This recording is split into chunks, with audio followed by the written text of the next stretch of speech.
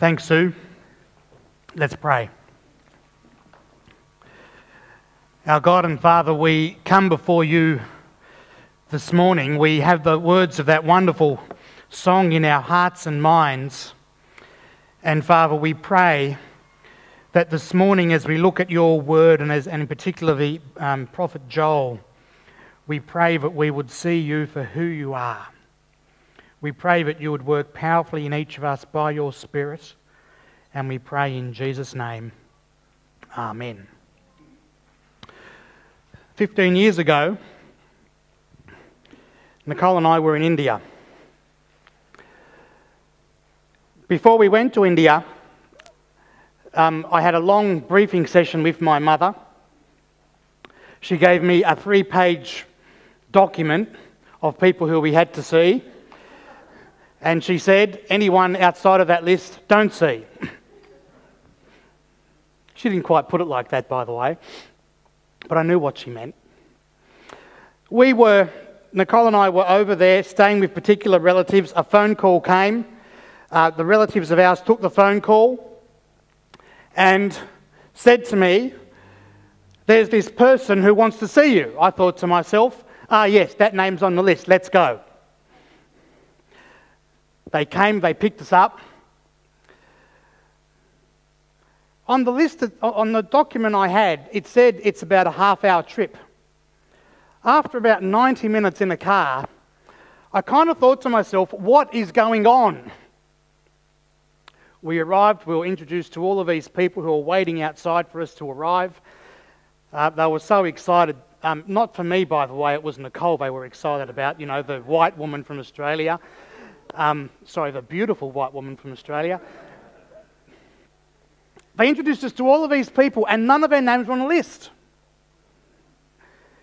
And we had agreed to stay here for a few nights after several hours, my mind churning over what's going on. Where are we? Sorry, here's a picture, by the way, of, you know, it wasn't just a simple trip, it was a really involved trip. I said, I'm missing my mother. I really should give her a phone call. It's true, by the way, I was missing my mother. I had an ulterior motive. I called my mum. I said, Look, I just need to. Sorry, it was the middle of a night in Sydney. That was okay. For me, anyway, that was okay. I needed to know where we were. She said, How did you end up there? What trick has been played on you? I don't know. I speak English, not Hindi. You know, it's kind of... Anyway, worked out where we were. My point is this for that several hours, we were completely confused about where we were. In the, in the hours subsequent to understanding where we were, we were completely confused about how we were going to get back on track on our program. My point is sorry, who here has ever been in a situation of confusion? Who was not? We're talking to you at morning tea for the secrets. Today, in this world, there is great confusion. Yes, take a close look at that sign. It'll dawn on you. There's confusion. A story of a Sunday school class. One kid asked in Sunday school class, Where is Jesus? Sorry, the teacher asked, Where is Jesus? One kid said, In my heart. Another kid said, Everywhere. Another guy said, In my bathroom. Teacher inquired, What did you say? In my ba- Why do you say in my bathroom? Well, because every morning my dad knocks on the bathroom door and shouts, Jesus Christ, are you still there? I'm not sure how I take that, right? My point is, there is confusion. In a census in 2006, 76% of the Australian population uh, ticked the box that said, Yes, I believe that there's a God. I like many others, have been eagerly awaiting the results of a 2011 census because we live in a world where God is constantly under attack and Jesus is constantly under attack. And we live in a world where the name of Jesus Christ nowadays, the, the, the most popular use of his name is as a swear word, as I just demonstrated. Even in more recent times, what have we done with the expression, not we necessarily, but what has our world done with the expression, oh my God? It is so popular now, not as a reference um, of, of revering God, but almost as a way of mocking God. It is so popular now that we have developed an abbreviation OMG. I refuse to use it, by the way. 2011 census. What percentage of people would you say now tick the box that they believe in God? 76% 2006, what was it in 2011? Anyone guess? Sorry? 30? Brett says it's a bit like an auction this morning, isn't it? 30? Sorry, 39, 60? Answer 75%. Does that surprise you? You see, if we believe what we're told, we think that people's understanding that there is a God would be diminishing at a rapid rate, a rate that, that well, is indicated in those numbers, but in fact, that is not the case. 76%, 75%. My point is, there is confusion. There is confusion today about who God is. There is confusion today, not so much about whether or not there is a God, but who God is. There is confusion about how it is that we should relate to God. Now, today, we're um, continuing, in fact, we're finishing today our series in the prophet Joel.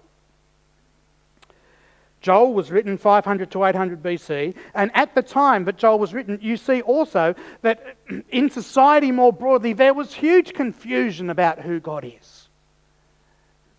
But, folks, Joel was not a book of the Bible that was written to society at large. Joel was a part of a Bible that was written to the people of God. And part of the context of Joel is that, yes, there is confusion in our broader society about who God is, but that confusion that exists has come within the people of God. And it has consequences and implications among the people of God. So far in Joel, here's a slide coming up I put up a few weeks ago. I'm going to jog your memory. If you weren't here, well, here you go. Here's, here's a summary of Joel so far. People have wandered away from God that is, God's people have wandered away from God. Therefore, there is judgment that is coming from God, and mixed within that certainty of judgment, that unstoppable judgment, that judgment that is just completely unavoidable, mixed in that message is a plea and opportunity to repent. And perhaps nowhere clearer do we see that, folks, as verse I keep coming back to in this series, in chapter 2, verse uh, 13 it says, Return to the Lord your God, for he is gracious and compassionate, slow to anger and abounding in love, and he relents from sending calamity. Friends, here is God. Gracious God. Compassionate God. One who is slow to anger, even though he has every reason to be angry. He is slow to anger. He relents from sending calamity. Friends, that is the God of the universe that the Bible tells us about.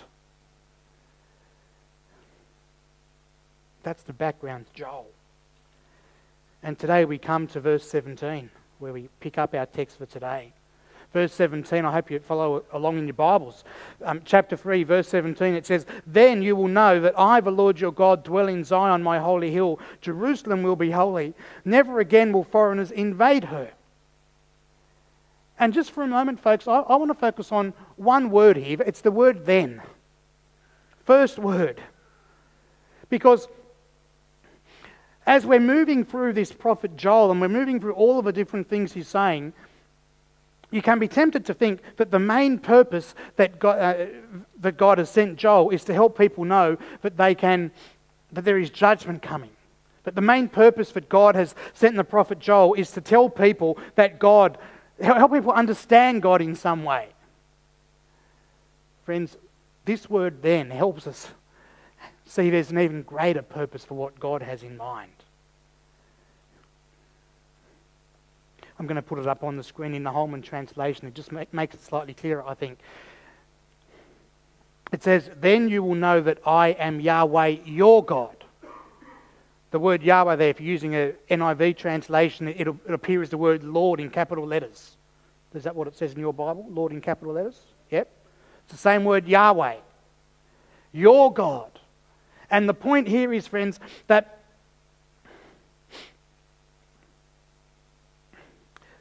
the end result of what God desires in sending the prophet Joel is not just that people would have kind of intellectual propositions about God, it is that people would know that God is not just an impersonal God, but that God is Yahweh, their God, who has acted throughout history. What he's trying to do, friends, is to clear up the confusion. Yes, there's confusion in their society. There's certainly confusion in our society about who God is. But the particular issue is that that confusion has come in among the people of God. And what he's trying to do is to clear that up. Looking at this glorious time at the end when it will be um, clear for those who trust in God. And here, what he's trying to do, friends, he's trying to get the people of Israel at that time, 500 to 800 BC, he's trying to get those people to reflect on history. Because seven, eight hundred years earlier, around about 1500 BC, this nation of Israel, they were in slavery in Egypt. And when they were in slavery in Egypt, God, He sent Moses to lead them away from slavery, to rescue them. And God, He, he worked deliberately through great, a great period of miracles. He was their God. Not just a impersonal God, He was a God who cared for them. And as He led the people away from Egypt, we see things like the picture that's up here. Uh, there's already, already that's happened the 10 plagues that gradually escalated in their intensity. And what didn't just stop there because Moses, trying to, the picture's trying to capture this, rescues the people, through the Red Sea, the Red Sea parts, and then what happens after the people cross through the Red Sea? It closes up over the armies that are chasing them. God worked in extraordinary ways. And then the people, they, they came to Mount Sinai. And at Mount Sinai, when God kind of lays out for them, when it's so clear to them how God has looked after them, they say to God, Tell us how it is that we should worship you and serve you. And whatever it is that you will say, that's what we will do. And despite that happening, friends, 1500 BC or thereabouts, confusion came in. Have you ever been confused? Let's see those hands again. Who's been confused? I was confused 15 years ago in India. I've been confused. Even, in fact, last night I was confused. I took Nicole to the opera. Just in case you don't think I'm romantic, I took her to the opera. That's not why. Anyway, I was confused because the whole opera was in Italian. I was sitting there thinking to myself, why don't they make operas in Hindi? Just. they do in Bollywood. We'll take your word for it, John Flood. Thank you.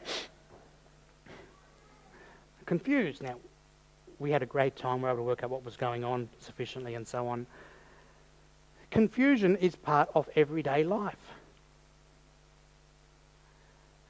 Joel, he's writing to a situation where God's people are confused.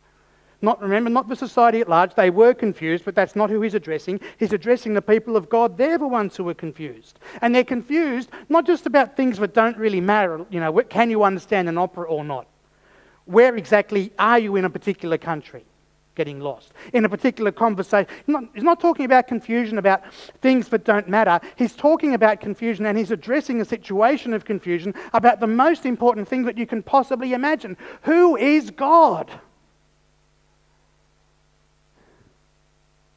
Where is God? How does someone have a relationship with God? And once that confusion is resolved, folks, these last verses in Joel, they move on to paint this absolutely glorious picture of the future. The future that God has in store. It's described as Zion, which is just another way of God talking about his holy city throughout the whole of the Bible. And this image which we're told about, it says things like, foreigners will never again invade her. every time I come up against the word holy in the Bible, I, I just I feel these days there's a misunderstanding of the word holy. I, I, I think I say this often. It comes out of my childhood. You know, Casper the ghost. And for me, when I think about holy, I think about Casper the ghost. Is anyone like me? Okay, I'll stop talking that. Okay. Does anyone know who Casper the ghost is? Okay. It's the whole halo kind of thing, right? You see images of people who are holy, and what do they do? They have halos around their head. When the Bible uses the word holy, friends, it doesn't mean that kind of thing necessarily.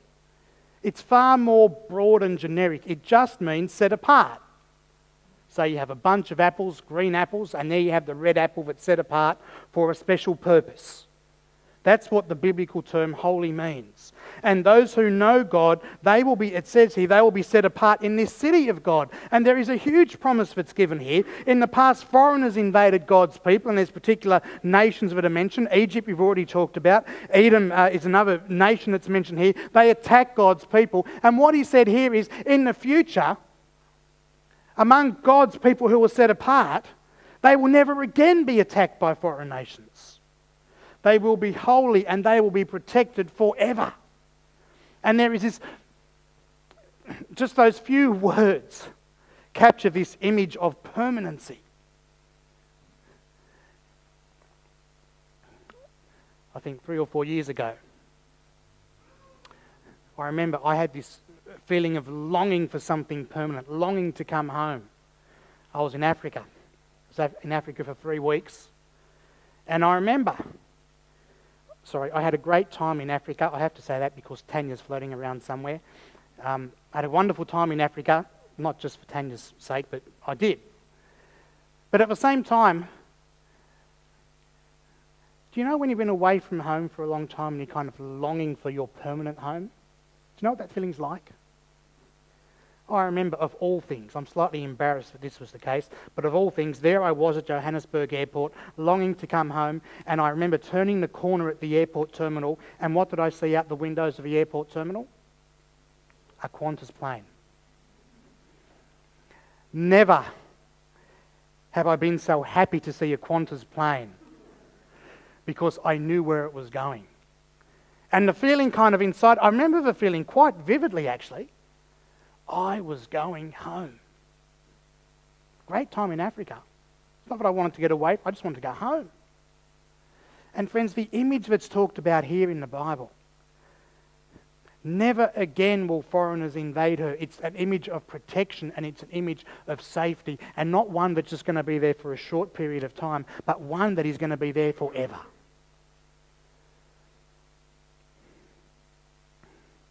Friends, make no mistake in this world, the evil one is at work. If the evil one can get a shoe in, he will get a shoe in. And the purpose of Joel, one of the purposes that Joel's written and, and been preserved for our benefit, is to try to help us focus on the grand picture of what God's doing in the world so that we don't get distracted. That's God's people then, they got distracted with all kinds of other things that were happening. And Joel comes along saying, Get back on the main game. Look at what God's doing in the world. This is going to happen. You're going to be holy. You're going to be protected. It's going to be the case forever. Stay with God. The God who has looked after you all through history.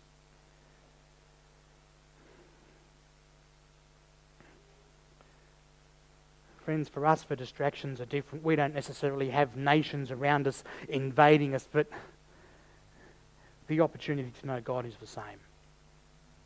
And you kind of read that. I'm going to move more quickly through the rest of the verses. I just wanted to focus on that verse so we get some kind of perspective as we, as we work through these verses. Verse 18, you, you, you kind of come to verse 18 with that image, if you've thought about it, thinking, when will be, this be the case? And verse 18 says, In that day the mountains will, will, drip new wine, and the hills will flow with milk, and the ravines of Judah will run with water. A fountain will flow out of the Lord's house and will water the, the valley of the acacias. And here's the really interesting thing. Because you come to just words like that, and I think words like that are really easy to gloss over. But let me ask you the question. I think many of you will know the answer. When Jesus was in the world, what was the first of his miracles? Water into wine. Now, think about what it says in Joel chapter 3, verse 18 knowing that Jesus' first miracle was turning water into wine. It says, In that day the mountains will drip new wine. You see? And five, six, seven hundred years after these words were written, there comes Jesus into the world. Known, the first miracle he's known for in John's Gospel is to do exactly this other parts of the Bible, Matthew chapter 9, I think it's going to come up. Um, just take, take this even further. Neither do men pour new wine into old wineskins. If they do, the skins will burst, the wine will run out, and the wineskins will be ruined. No, they pour new wine into new wineskins. And the whole context of this discussion, folks, in Matthew and the other Gospels, is the coming of Jesus. What has he come to do? And you see this image of new wine. If you have these words from Joel in your mind, and you kind of have the question, when is all of this going to happen? Friends, the answer as to when this is going to happen is that it begins with Jesus coming into the world. The image goes on. That's the first part of verse 18. The second part, let me come at it this way. Um, here's the diagram I put up a few weeks ago just to help us understand the last days. Right? I'll jog your memories, or if you weren't here on that occasion. In the Old Testament, it talks about all of these major promises of God coming to reality at a point in time. And then you come into the New Testament, and what you see is that point in time, it's actually clarified. It's not just one particular point in time, it's a period of time. It's a period of time that begins with the coming of the Lord Jesus into the world, hence the cross. And then this term develops called the last days. It is a time that continues. It's a time that we're in now, friends. It's a time that continues until Jesus comes back into the world. And so the first part of verse 18, when will all of this happen? Is, well, the last days began with Jesus coming into the world. And then the second part of the image, it, it is an image of, well, it's an image we don't get if you were to ask a kid today, where do you get milk from, what would they say? the fridge. I hadn't thought of that one, Tammy, but there you go fridge or shop. You see, there is an ignorance about the kind of origin of milk. I'm glad they still have school excursions that actually take them to real cows. Um, if you asked them where they got water from, what would they say? The tap. Or the fridge, perhaps. You see, we live in a world where we don't quite, we know it. We know the necessity of having water to kind of fertilize things, but we don't get it in the same way, but to the extent to which it was the case in the Old Testament. In the Old Testament, they had to settle in particular places that had flowing water. They had to settle in particular places where crops would be watered. Otherwise, they couldn't survive. And so the image that's told to us here in Joel, it is one of abundance and provision of, and, and, and one in which there is more than enough, one in which everything is taken care of. And when you have that understanding in your mind and you then come into the book of Revelation, chapter 22, which is going to come up on the screen here, we read words like this. Words like this would talk about the future when Jesus is going to come back. Words would say, The angel showed me the river of the water of life, as clear as crystal, flowing from the throne of God and of the Lamb down the middle of a great street of a city. On each side the river stood the tree of life, bearing twelve crops of fruit, yielding its fruit every month, and the leaves of the tree are for the healing of the nations. Do you see? The image in Joel 500 BC is that of abundance, and Revelation picks up on that image and says, This is going to be the case when God establishes his holy city, Zion. That is the time that they will know the Lord. And friends, at that time, there are only two possible paths. Verse 19 in Joel tells us about one. Egypt and Edom, it says, will be desolate, will be waste because of the violence done. That's one possible path. The other possible path, verse 20, Judah will be inhabited forever and Jerusalem for all the generations. And what's happening here, friends? In Joel, he's picking up on the kind of players of the time, picking up on Egypt, picking up on Edom, people who, who expressed violence against God's people. And because they expressed violence against God's people, they expressed violence against God Himself. They will be judged. The other possible path, he talks here about Judah and Jerusalem. They're people who were God's people. And they're people who are going to be part of this holy city of God. They're the only two options. And I just want to just pause here for a moment because there is an important principle that underlies this. And it is this The Bible talks about there being two possible paths, it does not talk about there being a middle road. And one of the common misunderstandings that I encounter today, and perhaps you encounter as well, is have you ever had a conversation with someone who kind of says, I'm not someone who has an active relationship with God, and at the same time, I'm not someone who rebels against God. I'm kind of in the middle. Ever had that kind of conversation? See, I think where it comes from is you see nations like Egypt and nations like Edom who, for them, have been quite active in expressing violence against God's people and against God.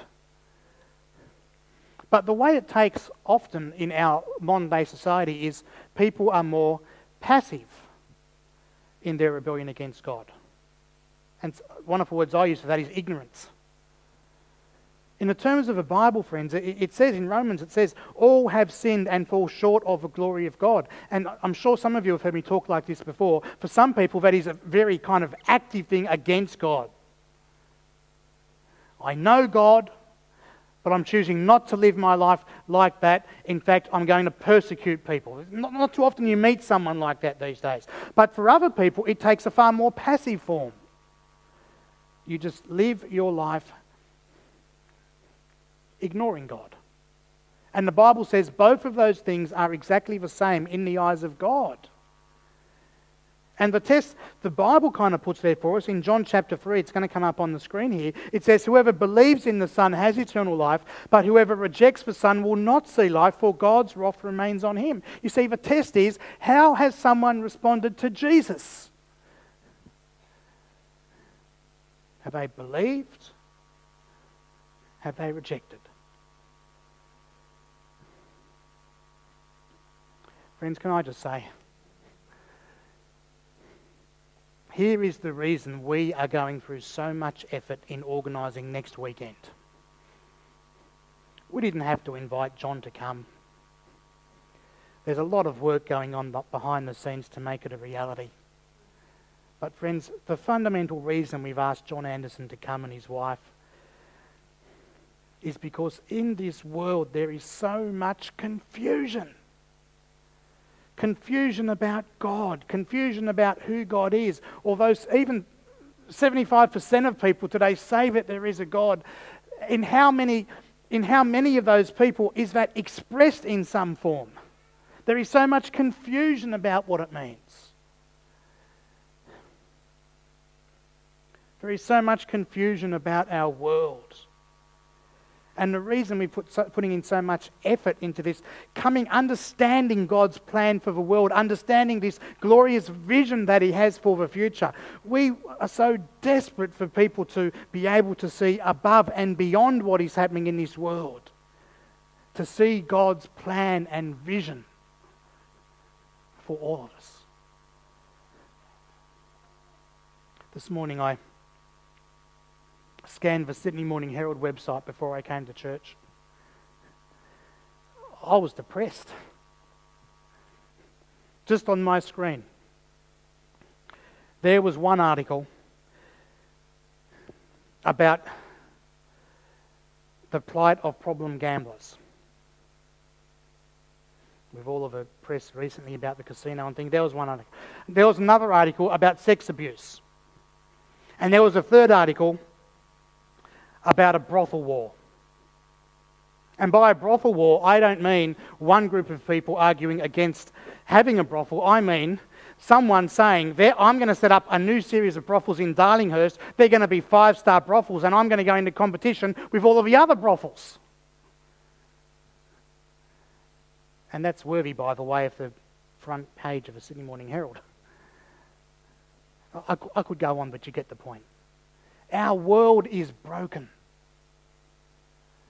People so desperately need to understand what God has in mind for his people, knowing that he is the Lord, our God. The opportunity to dwell in his holy city, the opportunity to live there eternally and have protection there eternally.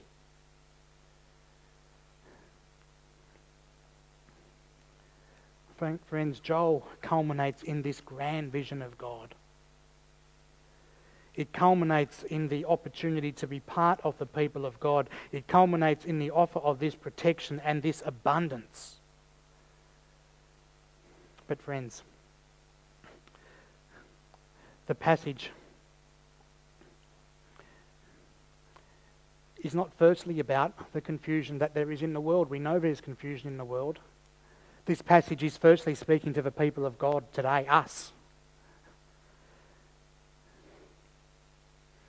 The movement of Joel, remember, it starts off with this confusion. There's the situation. God's people, they keep wandering away from God. And one of the things Joel's trying to do is turn that confusion and bring clarity so that people know who God is, so that people remain firm in God, so that people resist the temptations that exist all around them, so that people look at the promise of abundance. And, you know, recently, I've shared this with some of you, I think.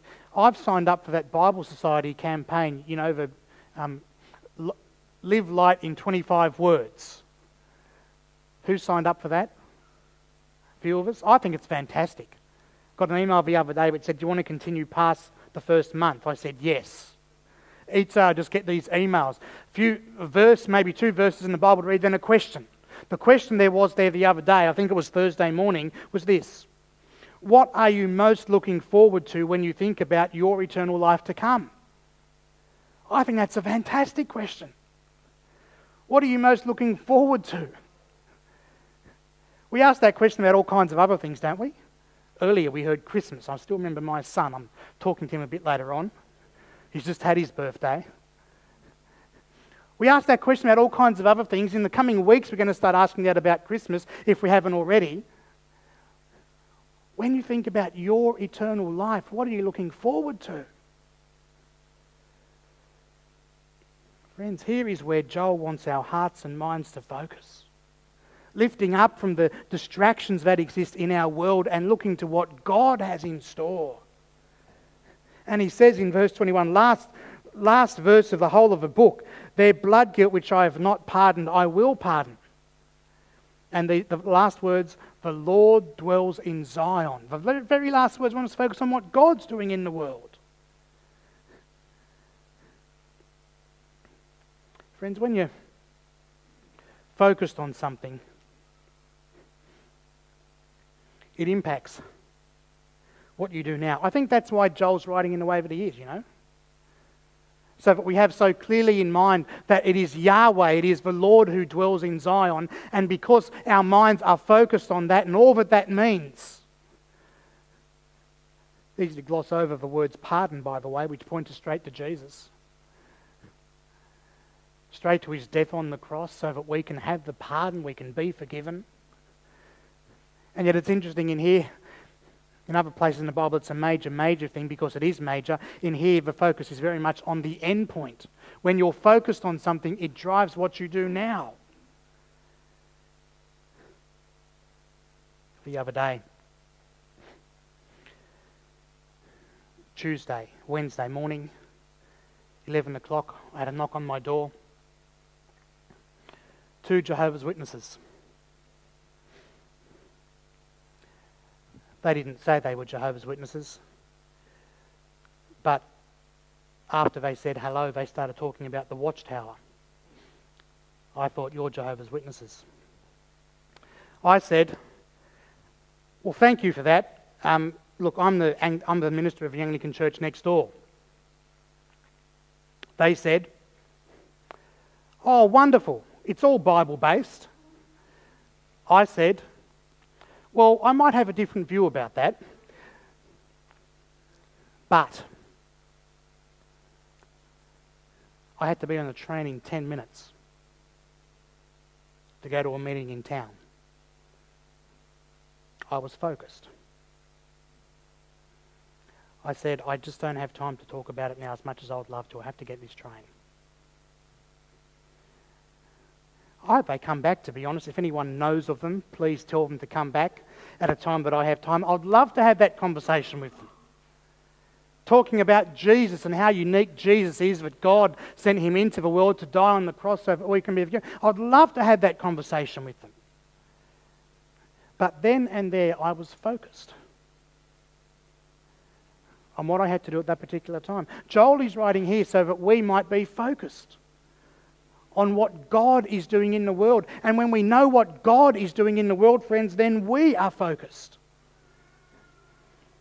And if I could just speak a moment once again about next weekend. It's the, we're on the eve now of a major weekend we're having.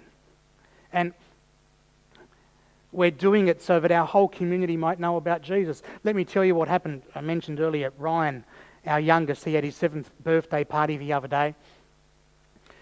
It's fascinating. As, as parents were coming in to pick up their kids, one of the parents who came to pick up her girl said, to Nicole, I have to talk to you. Do you teach my daughter scripture? Nicole said, Yes. This lady said to Nicole, Oh, that's great. Do you go to a church?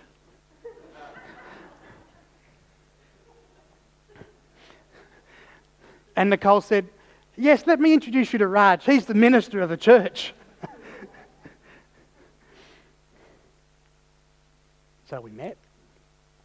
Conversation continued between three of us. She said, You know, I used to go to a church, but for a number of years now I haven't been going to a church. Can I come? We said no. no, we didn't say no. It was fascinating. You see, in her mind, she needed an invitation from someone. She needed permission from someone who goes to church to come. So we bent over backwards to extend that invitation. Then she said, Oh, and can my husband come? We thought we have to draw the line somewhere. No, no. there is so much confusion, friends.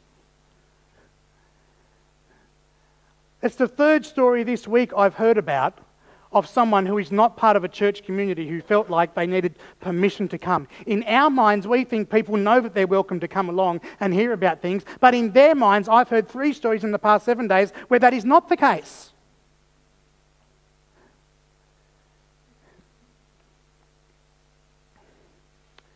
Friends, imagine the time in the future.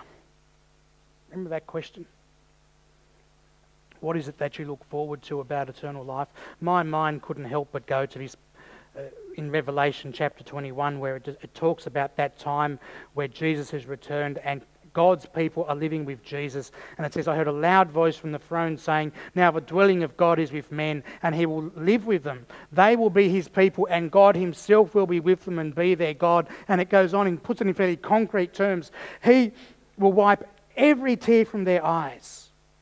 There will be no more death or mourning or crying or pain, for the old order of things has passed away. That's where my mind went. As I think about what God is doing in, in this world and what God will do with this world in the future, I long for that time. Friends, do you?